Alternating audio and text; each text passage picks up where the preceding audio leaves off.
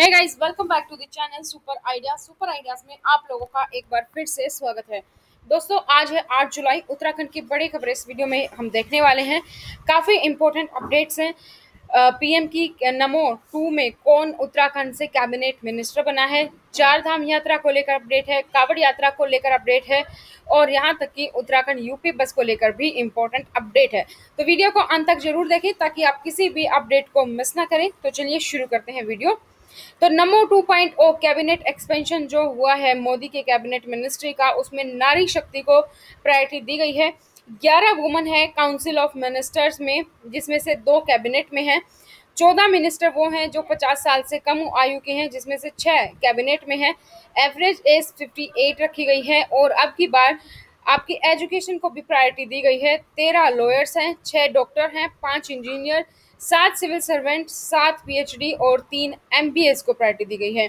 अजय भट्ट हैं जो उत्तराखंड अल्मोड़ा से हैं, साठ साल के, जिनको कैबिनेट एक्सपेंशन में जगह मिली है।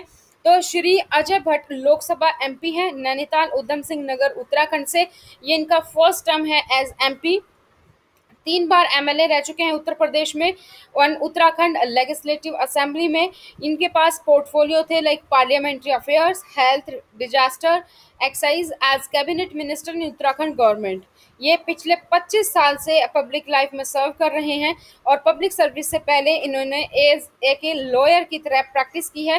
रानीखेत में ये एलएलबी हैं फ्रॉम कुमाऊं यूनिवर्सिटी कोरोना के बढ़ते संक्रमण के बीच उत्तराखंड सरकार ने इस साल भी कोविड यात्रा को एक बार कैंसिल कर दिया है। लेकिन शिव भक्तों को राहत देते हुए सरकार ने फैसला लिया है कि गंगा जल को टैंकरों में भरकर दूसरे राज्यों में भिजवाया जाएगा। सावन महीने में शुरू होने वाली कावड़ यात्रा में कावड़ियों के लिए सरकार टैंकरों में गंगा जल भरकर उत्तराखंड के पड़ोसी राज्यों में भिजवाने का फैसला लिया है। ऐसे में कावड़ियों को बिना हरिद्वार आए अपने अपने शहरों में गंगाजल मिल जाएगा और वे श्रद्धा पूर्वक शिवालयों में गंगाजल चढ़ा सकेंगे। सरकार की ओर से उत्तर प्रदेश, हरियाणा, दिल्ली सहित पड़ोसी राज्यों में गंगाजल टैंकरों में भरकर भेजने का फैसला लिया है। कोरोना से जूझते प्रदेश को मिलेगा अलग स्वास्थ्य मंत्री। लगातार उठ रही मांग। दरअसल, पूर्ववर्ती कांग्रेस सरकार में सुरेंद्र सिंह नेगी स्वास्थ्य मंत्री थे। इसके बाद भाजपा की सरकार आई तो मुख्यमंत्री त्रिवेंद्र सिंह रावत ने यह विभाग अपने पास ही रखा। करीब चार साल उनके कार्यकाल के बाद जब तीरथ सिंह रावत को प्रदेश की कमान मिली तो उन्होंने भी कोई बदलाव करने के बजाय स्वास्थ्य महकमा अपने पास ही रखा। किशोरी का धर्मांतरण कराने की कोशिश का आरोप, एसएसपी का घेराव कर ज्ञापन सौंपा। कुछ माह पहले आरोपित पीड़ित परिवार की बेटी को भगाकर अपनी बहन के घर किच्छा ले गया था। पुलिस ने वहाँ से किरोशी को, किशोरी को बरामद किया है। बद्रीनाथ और गोरीकुंड हाईवे पर तैनात रहेगी एंबुलेंस। संपर्क मार्गों का भी खाका तैयार है। बद्रीनाथ हाईवे पर सिरोह बगड़ से नरकोटा के बीच एंबुलेंस की सुविधा रहेगी। वही गोरीकुंड हाईवे पर तिलवाड़ा के समीप नोला पानी बांसवाड़ा काकड़ा गाटगुंड और डोलिया घाट में एंबुलेंस तैनात की जाएगी। बासठ दिन बाद खुले हैं यूपी के दरवाजे। तो दिल्ली के लिए उत्तराखंड रोडवेज़ की बसों का संचालन शुरू हो चुका है। बृहस्पतिवार, यानी कि आज से दून, हरिद्वार, रुड़की, कोटद्वार से दिल्ली के लिए बस संचालन पूरी तरीके से चालू हो जाएगा। आम आदमी पार्टी पदाधिकारियों, कार्यकर्ताओं ने आईएसबीटी चौक बिजली घर पर किया प्रदर्शन। बिजली की कीमतें बढ़ाए जाने के विरोध में आम आदमी पार्टी ने आईएसबीटी चौक स्थित बिजली घर कार्यालय पर धरना प्रदर्शन किया। आप कार्यकर्ताओं ने बिजली के बिलों की प्रतियाँ फूक कर ऊर्जा मंत्री डॉक्टर हरक सिंह रावत के खिलाफ जमकर नारेबाजी की। सीएम धामी ने किया गंगा पूजन, कहा काम करने के लिए एक दिन भी है बहुत। सीएम पुष्कर सिंह धामी ने कहा कि काम करने के लिए कम और ज़्यादा होना समय ज़्यादा मायने नहीं रखता है। काम करने के लिए एक दिन भी काफ़ी होता है। पूर्वोत्तर से एनओसी लेकर चोरी के ट्रकों को लाया जाता है। राज्य में पकड़ में आए थे 40 ट्रक। मार्च माह में रुड़की में परिवहन विभाग की टीम ने दूसरे राज्यों से लाए गए लगभग 40 ट्रक पकड़े थे। उत्तराखंड लोक सेवा आयोग ने लेक्चरर हिंदी, अंग्रेज़ी, संस्कृत भौतिकी रसायन विज्ञान, गणित, जीव विज्ञान, नागरिक शास्त्र, अर्थशास्त्र, इतिहास, भूगोल समाज शास्त्र कला, मनोविज्ञान वाणिज्य, कृषि विषयों के लिए हुई लेक्चर भर्ती की परीक्षा का रिज़ल्ट घोषित कर दिया है। चयनित उम्मीदवारों को अब मेंस परीक्षा देनी होगी। आप आधिकारिक वेबसाइट पर जाकर परिणाम चेक कर सकते हैं। सौ दिन बाद एक भी संक्रमित की मौत नहीं, सतहत्तर नए मरीज़ मिले। उत्तराखंड में कोरोना संक्रमण और मौत के मामलों में कमी आई है और रिकवरी रेट पिचानवे पॉइंट छियासठ है। बारह जुलाई से खुलेंगे। कक्षा एक से बारहवीं तक के सभी स्कूल नियमित रूप से आएँगे शिक्षक।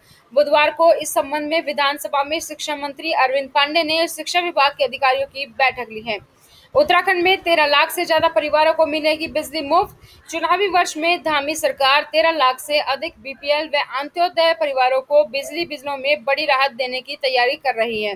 ऊर्जा मंत्री डॉक्टर हरक सिंह रावत के अनुसार इन परिवारों को एक निश्चित यूनिट तक मुफ़्त बिजली देने का विचार चल रहा है। चार धाम यात्रा पर 28 जुलाई तक रोक, उत्तराखंड हाईकोर्ट का फैसला आ चुका है। पर्यटक स्थल भी होंगे अब बंद। चारधाम यात्रा पर लगाई गई रोक को उत्तराखंड हाईकोर्ट ने 28 जुलाई तक बढ़ा दिया है। पहले यह रोक 7 जुलाई तक थी, जिसे बुधवार को ही सुनवाई के बाद आगे बढ़ाया गया। सोमवार से खुलेंगे एक से बारह तक के स्कूल। और उत्तराखंड हाईकोर्ट से सरकार कोविड 19 लॉकडाउन में ढील देने के निर्णय की समीक्षा करे। उत्तराखंड उच्च न्यायालय ने कोविड मानदंडों का पालन किए बिना नैनीताल जैसे हिल स्टेशनों में पर्यटकों की भारी आमद पर चिंता व्यक्त करते हुए निर्देश जारी किए हैं। उत्तराखंड सरकार ने चार धाम यात्रा पर हाईकोर्ट के आदेश को चुनौती दी। यात्रा के सिलसिले में हाईकोर्ट में आज सुनवाई होनी है। कुंभ के बाद उत्तराखंड ने रद्द की है कांवड़ यात्रा। दूसरे राज्यों पर पड़ा दोहन। मंगलवार को राज्य के पुलिस अधिकारियों ने पड़ोसी राज्यों के अधिकारियों से अपील की कि वे भक्तों को इस महीने गंगा से पानी लेने के लिए वार्षिक तीर्थ यात्रा के लिए हरिद्वार न आने के लिए कहें। यात्रा पिछले साल कोविड प्रतिबंधों के कारण आयोजित नहीं की गई थी। उत्तराखंड में फिर शुरू हुई ट्रैकिंग। पर्यटक खुश, स्थानीय लोग नाखुश।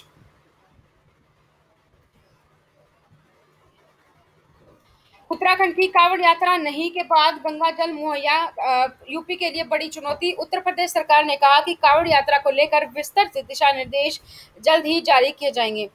पर्यटकों की आमद को नियंत्रित करें, वीकेंड के प्रतिबंधों में ढील पर पुनर्विचार करें। उत्तराखंड हाई कोर्ट राज्य को अदालत ने मुख्य सचिव एस एस संधु को राज्य के हिल स्टेशनों के हर वीकेंड पर्यटकों से भरे होने की मीडिया रिपोर्टर की ओर से इशारा किया है। उत्तराखंड में पिछले 24 घंटे में 77 लोग कोरोना संक्रमित पाए गए। इसके अलावा सुख बात यह है कि 104 लोग स्वस्थ होकर भी घर लौटे हैं। उत्तराखंड में कोविड 19 के डेल्टा प्लस संस्करण का पता लगाया गया है। अमित नेगी का बयान आया है। अमित नेगी के बयान के अनुसार उत्तराखंड ने उधम सिंह नगर ज़िले में कोविड 19 के डेल्टा प्लस संस्करण, चिंता का संस्करण का पता लगाया है। लखनऊ से आए हुए एक व्यक्ति को डेल्टा प्लस मिला है। बारह जुलाई के बाद उत्तराखंड के स्कूलों को खोलने की अनुमति, ऑनलाइन कक्षाएँ जारी रहने का फैसला। शिक्षा मंत्री रमेश पोखरियाल ने स्वास्थ्य कारणों से दिया इस्तीफा। केंद्रीय मंत्रिमंडल में फेरबदल से पहले शिक्षा मंत्री रमेश पोखरियाल ने स्वास्थ्य कारणों का हवाला देते हुए अपने पद से इस्तीफा दे दिया है। चार धाम यात्रा पर संयम बरकरार है, सुप्रीम कोर्ट पहुँच चुकी है उत्तराखंड सरकार। तो ये थी दोस्तों, उत्तराखंड से जुड़ी कुछ खबरें। इसी तरीके की अपडेट पाने के लिए चैनल को सब्सक्राइब करें और बेल आइकन को प्रेस करना ना भूलें, ताकि जैसे वीडियो अपलोड होती है, उसकी नोटिफिकेशन आप लोगों को मिल पाए। तो आज की वीडियो में इतना ही। फिर मिलेंगे नई जानकारी के साथ। तब तक thank you so much. Bye take care.